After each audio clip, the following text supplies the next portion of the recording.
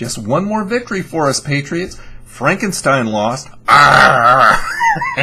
and Nanny Bloomberg has his panties in a wad. Links down below. See ya.